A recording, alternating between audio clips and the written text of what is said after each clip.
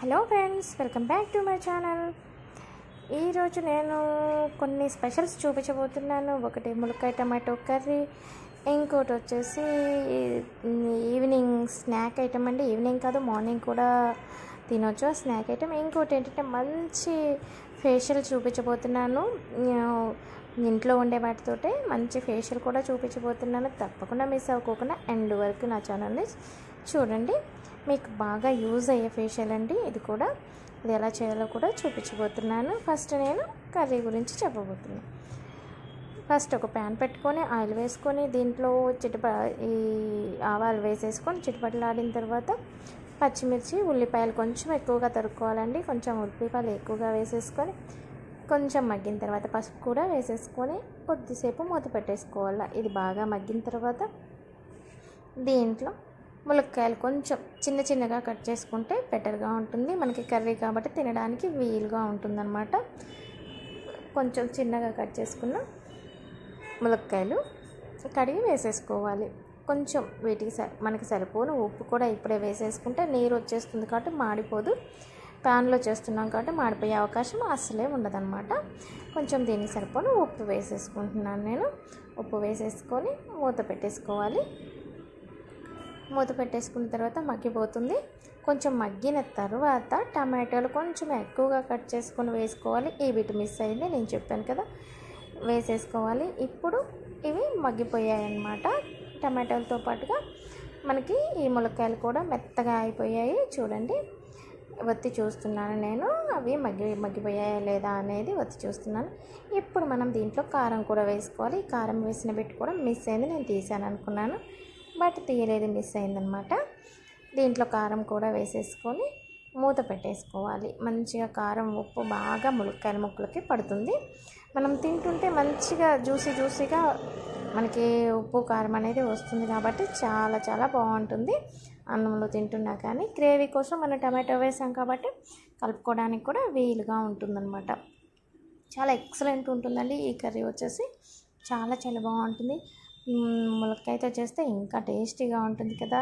మంచి టైంపాస్ అవుతుంది తింటుంటే కూడా సైడ్కి ములక్కాయలు ఉంటాయి కాబట్టి చాలా చాలా బాగుంటుంది. ఇలా గ్రేవీ గ్రేవీగా ఉంటుంది. కర్రీ వచ్చేసి మనం వాటర్ వేయాల్సిన అవసరం అస్సలు లేదండి. టమాటో వేసేస్తాం కానీ దీంట్లో కొంచెం ధనియాల పొడి వేసేస్తున్నాను నేను. మసాలా లైట్ మసాలా అనమాట నేను ఎక్కువగా మసాలాలు యూజ్ చేయను. ధనియాల పొడి మాత్రమే. ధనియాల పొడి వేసేసి కలిపి పక్కన పెట్టేసుకోవడమే. మన కర్రీ రెడీ అయిపోయింది. చాలా చాలా బాగుంటుందండి. టేస్టీగా కూడా ఉంటుంది. మీరు ఒకసారి ట్రై చేసి చూడండి. కామెంట్లో చెప్పండి. ఒకవేళ మీరు కూడా ఇలాగే చేసేటట్టయితే మీరు కామెంట్ చేయండి. మీరు ఎలా చేస్తారనేది కూడా. ఓకే ఫ్రెండ్స్ ఇప్పుడు మన కర్రీ కంప్లీట్ అయిపోయిందనమాట. నెక్స్ట్ వచ్చేసి ఇంకోటి ఈవినింగ్ స్నాక్ ఐటమ్. ఇది మార్నింగ్ కూడా చేసుకోవచ్చు. నేను పిల్లల కోసం ఈవినింగ్ చేశాను. బ్రెడ్ అండి. మీరు బ్రెడ్ ఇలాగే రోస్ట్ చేస్తారా ఎలా చేస్తారా అనేది నాకు కొంచెం కామెంట్లో చెప్పండి. నేను మాత్రం బ్రెడ్ని ఇలా పాన్ పైన మీద వేసేసి నెక్స్ట్ బటర్ వేసేస్తాను. బటర్ ఫ్రిడ్జ్లో పెట్టానండి. గట్టిగా అయిపోయింది. దీనికోసం నేను చాలా కష్టాలు పడ్డాను. అస్సలు మెల్ట్ అవ్వట్లేదు. కానీ ఎలాగోలా మెల్ట్ అయ్యేలా చేసి దీన్ని మాత్రం బ్రెడ్ మాత్రం కంప్లీట్ చేసేసాను వేయించేసాను. బ్రెడ్ ఎప్పుడైనా కానీ మామూలుగా మామూలుగా తింటే అంత టేస్టీగా ఉండదండి. ఇలా మీరు రోస్ట్ చేసుకొని తింటే చాలా చాలా టేస్టీగా ఉంటుంది. చూడండి ఒక్కసారి ట్రై చేసి చూడండి. మీరు ఒకవేళ రోస్ట్ చేసుకునే అలవాటు ఉంటే ఓకే లేదంటే మాత్రం బటర్ లేకపోతే కాస్త నెయ్యి వేసుకుని అయినా కానీ రోస్ట్ చేసుకోండి. నెయ్యి వేసుకుంటే కూడా చాలా టేస్టీగా ఉంటుంది బ్రెడ్కి. బ్రెడ్కి నెయ్యి కాంబినేషన్ అయినా కానీ బటర్ కాంబినేషన్ కానీ చాలా చాలా బాగుంటుంది. మార్నింగ్ పిల్లలు స్కూల్కి వెళ్ళేటప్పుడు టిఫిన్స్ ఏమి లేనప్పుడు కూడా ఇలా రోస్ట్ చేసేసి కొంచెం టమాటో కచ్చప్తో ఇస్తే చాలండి. చాలా టేస్టీగా తింటారు. హెల్తీగా కూడా ఉంటుంది.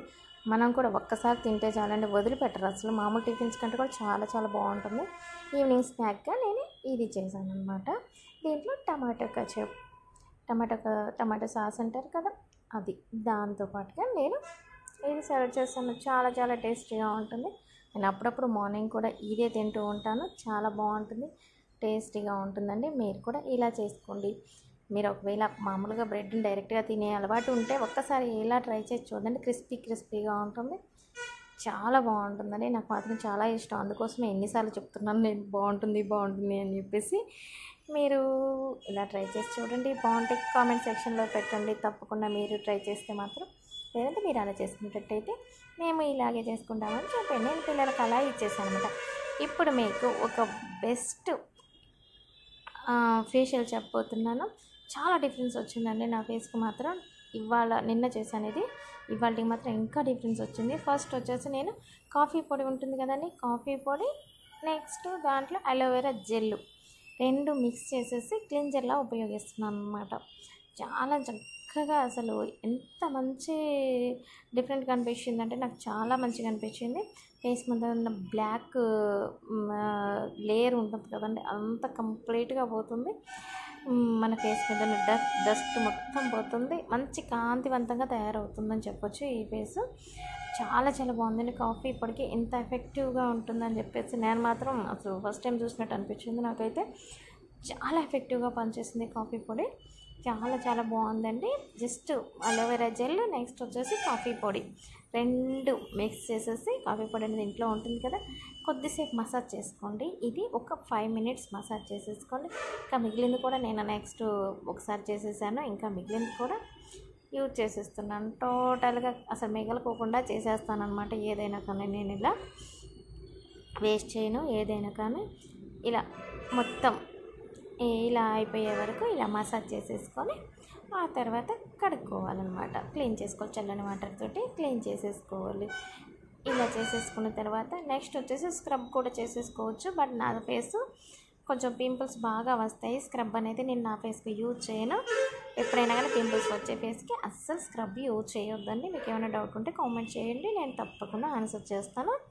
నేను స్క్రబ్ మాత్రం యూజ్ చేయట్లేదు. స్క్రబ్ యూజ్ చేయాలంటే కాఫీ పొడి నెక్స్ట్ వచ్చేసి షుగర్ యూజ్ చేయండి. షుగర్ కలుపుకొని దాంట్లో ఏదైనా కానీ కొబ్బరి నూనె లాంటిది కొబ్బరి నూనె అయితే బాగా ఎఫెక్టివ్గా పనిచేస్తే కొబ్బరి నూనె రాసేసుకోండి. అప్పుడు కానీ మీకు స్క్రబ్ బాగా యూజ్ అవుతుంది. ఒక టూ మినిట్స్ అలా చేసేసుకొని కడిగేసుకుంటే స్క్రబ్ స్క్రబ్ అనేది అయిపోతుంది అనమాట నేను స్క్రబ్ చేయట్లేదు కాబట్టి మసాజ్ చేస్తున్నాను. మసాజ్ అండ్ ప్యాక్ ఒకటే చేస్తున్నాను అనమాట నేను మసాజ్ చేయడానికి యూజ్ చేసింది కాఫీ పొడి. నెక్స్ట్ వచ్చేసి టమాటో టమాటో గుజ్జు అనమాట టమాటోని పిండాను ఓన్లీ కట్ చేసి పిండాను రసం వచ్చేసింది. ఆ రసం కలిపాను.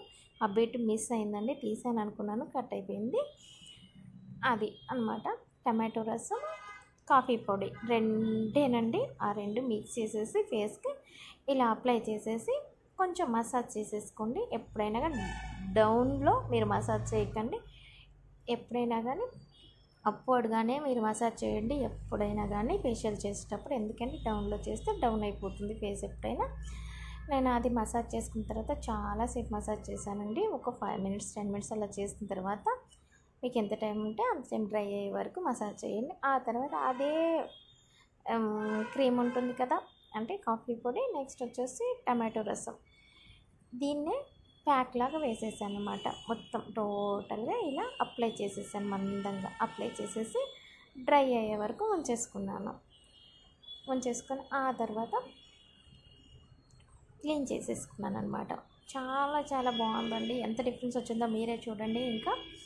నెక్స్ట్ వచ్చేసి ఫ్రెండ్స్ నా ఛానల్ ఫస్ట్ టైం చూస్తున్నట్టే తప్పకుండా సబ్స్క్రైబ్ చేసుకోండి. ఇలాంటి ఫేషియల్ టిప్స్ ఎన్నో మీకు రోజుకొకటిగా మీకు ప- వస్తూ ఉంటాయి.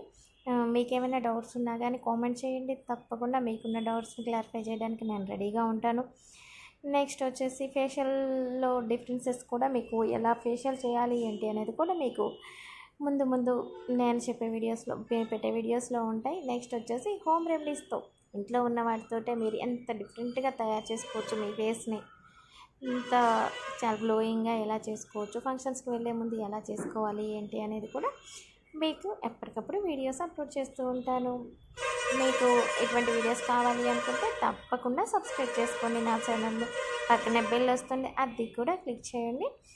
నేను పెట్టే ఇటువంటి వీడియోస్ అన్నీ మీ వరకు నోటిఫికేషన్ వస్తాయి. చూడండి ఎంత గ్లోయింగ్గా ఉందో ఎంత డిఫరెన్స్ వచ్చిందో ఒక్కసారికే రెండు సెకండ్ టైం మాత్రం సూపర్గా ఉందండి నా ఫేస్.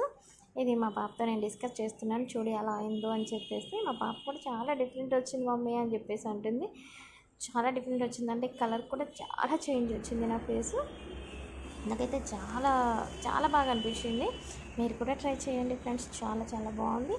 ఇంకా నేను పెట్టే వీడియోస్ అన్నీ కూడా ఇంకా లేటెస్ట్వి ఉంటాయి. చాలా చాలా ఇంట్లో ఉండి మీరు ఫేషియల్ ఎలా చేసుకోవాలనేది ఒక్క రూపాయి ఖర్చు